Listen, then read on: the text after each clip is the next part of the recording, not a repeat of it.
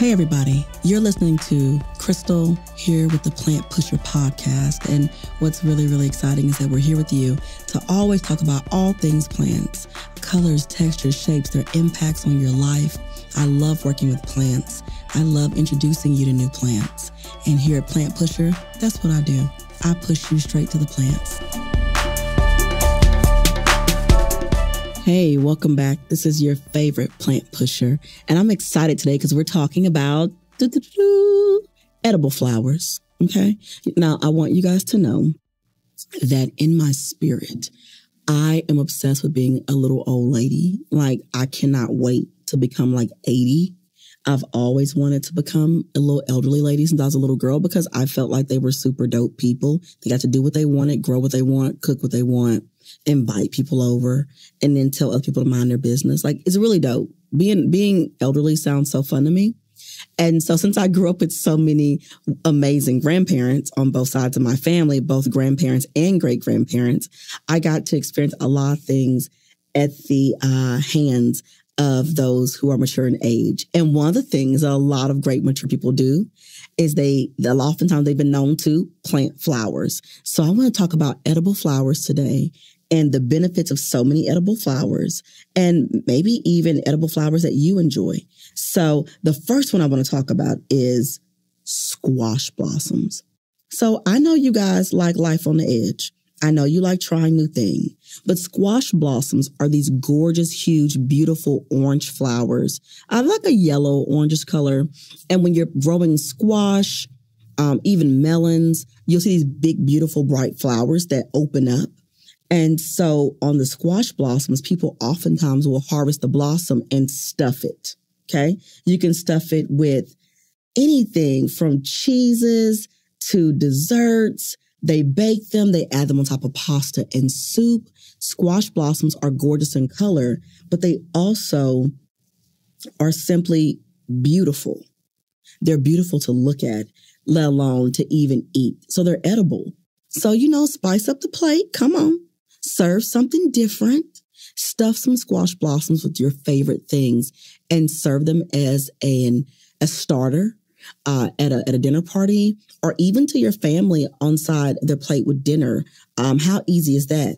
To gather some squash blossoms and maybe put like some some beautiful um, cream cheese or feta cheese with your favorite vegetables chopped up and amazing sauce drizzled, drizzled over it. Stuff it whatever you want. Rice, go for it. You know, I, I love an experience. I love a two for one.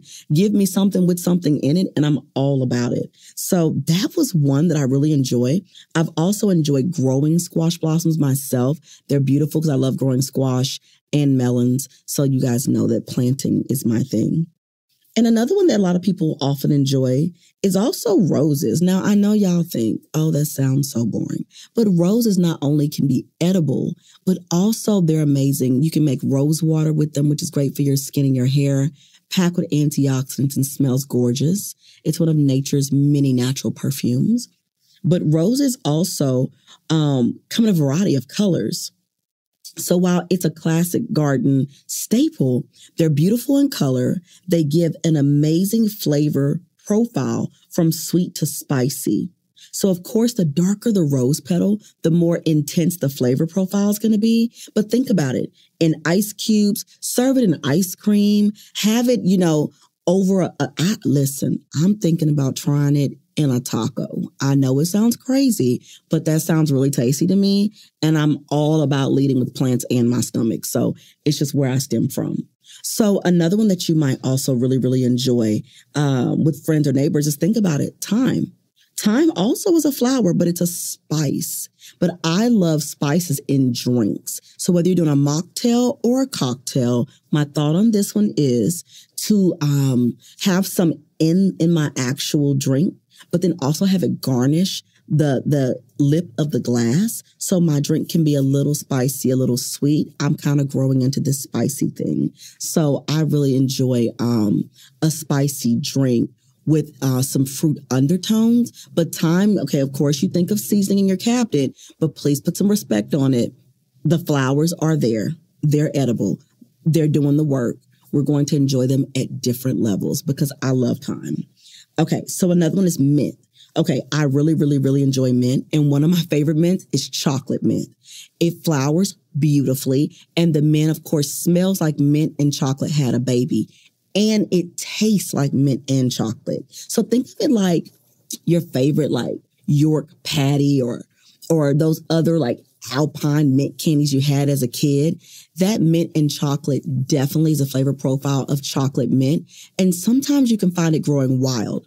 So whether it's on a cake, whether you are adding that nutty aroma to your coffee or your tea, chocolate mint is one of my favorites, but mint as a whole is an edible flower. Put some respect on it and don't forget Y'all know how I feel about it. it. It's a whole vibe. I love mint. Mint is also good for your digestive tract as well as helping you like fight, fight inflammation and bacterial. It's antimicrobial. Like mint has so many benefits to it. But when it comes to getting down down down, a cup of tea, some mint tea will do you just fine. We want you to be always in the best place for your well-being. So mint is here to stay don't vote that off the island. Whether we're eating Italian and we're putting mint in our food or whether we're putting it in a drink like a mojito, mint is a flower that is edible. And when it comes on your plate as your garnish, do me a favor and take a bite. If I see y'all throw it in the trash, I will be disappointed. I'm always sad when people leave the garnish on the plate. It is meant to be ingested. It has an additional flavor profile, whether it's parsley, mint, citrus, thyme, or rosemary. Anytime those adornments are put on your plate, please try them with your food. It elevates the palate and makes it a party in your mouth. And y'all know I like to party. Okay. The next one is my favorite matronly little old lady flower of the day is marigolds. Okay. We're going to make marigolds sexy. The bees love them. I love them. They come in a quadrillion colors. Yes, they keep the pest away, but marigolds are amazing in tea and in salads. They do an excellent job of aiding with seasoning food. And you want to remove the bitter white part at the end of the petal before you consume it. But other than that, it's the gift that keeps on giving. Dress the plate up. Listen, when y'all have a date and you want to really impress them, grab some marigolds, sprinkle them on the plate a little bit, some petals, or put them around. Listen, they gonna think you put some real elbow grease into this. I'm trying to get y'all some extra hugs if that's what you desire. Okay. So marigolds, beautiful, easy to grow. Stop by your, your favorite buck store, you know, where you only, you know, spend a little bit of your cha-ching, one of them at a time, like a dollar, and grab you some marigold seeds. Go to your favorite home improvement store, put them in a pot. They grow super easy and quick, and you can add them to your meals, add them to your tea, sprinkle and go. Beautiful, beautiful, beautiful, beautiful. The other one that I really love are orchids. Listen, I know people think lavender and lavender is another beauty, but these orchids are giving and I love orchids in a salad. I also like orchids on, on my favorite like burger. Um, and so I'll take a plant-based burger and also like shred some purple cabbage and some orchids. Listen, I'm ready to eat. Best flavor ever.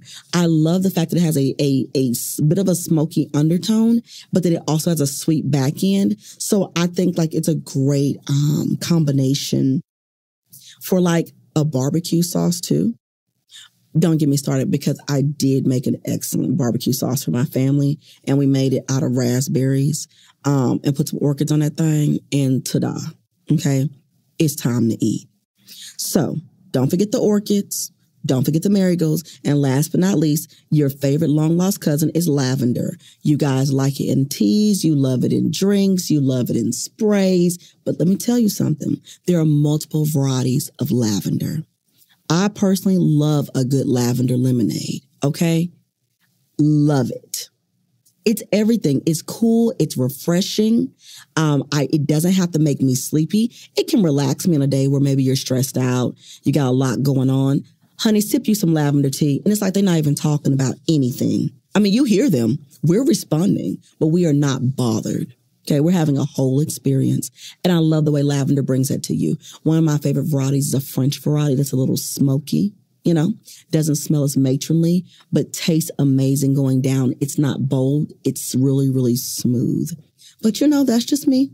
I'm just your favorite plant pusher, giving you all of the different flowers that are edible that I can't live without. I need you to try them. Let me know what you think. Please sprinkle those roses on your tacos and get back with me because I love pushing the best plants onto you every time. That's what we're doing. I'm encouraging you from plants. So I'm so glad you stopped by today. And uh, I can't wait to talk to you next time because I'm here and this is the plant pusher and I can't wait to show you what's next. Peace.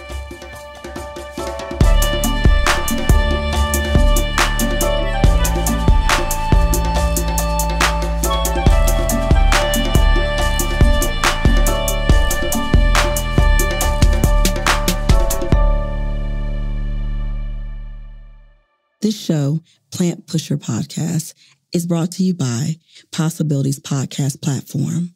We appreciate you listening. Stay tuned. Your favorite episode is up next.